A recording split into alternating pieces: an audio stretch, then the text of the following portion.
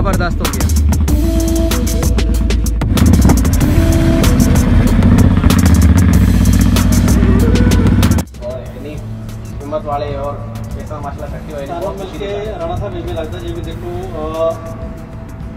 ਪਾਣੀ ਦੇ ਕਈ ਨਾਂ ਪਾਣੀ ਦਾ ਰੰਗ ਹੋ ਜਾਂਦਾ ਸਾਡੀ ਜ਼ੁਬਾਨ ਸੰਧੀ ਸਾਡੀ ਜ਼ੁਬਾਨ ਜਿਹੜੀ ਹੈਗੀ ਜ਼ੁਬਾਨ ਸਾਡੇ ਸਾਡਾ ਭਾਈਚਾਰਾ ਉਹ ਸੰਝਾ ਹੈਗਾ ਦੁਨੀਆ ਦੇ ਵਿੱਚ ਕਿਤੇ ਵੀ ਪੰਜਾਬੀ ਵਸਦਾ ਹੋਵੇ ਠੀਕ ਪੰਜਾਬੀ ਨੂੰ ਪੰਜਾਬੀ ਦੀ ਖਿੱਚੀ ਰਹਿੰਦੀ ਆ ਬਿਲਕੁਲ। ਅਸੀਂ ਤੁਹਾਨੂੰ ਸੱਦੀਏ ਜਾਂ ਨਾ ਸੱਦੀਏ, ਤੁਸੀਂ ਪਹੁੰਚ ਹੀ ਜਾਣਾ। ਤੁਸੀਂ ਸਮਝ ਜਾਣਾ। ਕੀ ਬਾਤ ਹੈ ਬੜੀ ਸੋਹਣੀ ਗੱਲ ਕੀਤੀ ਜੀ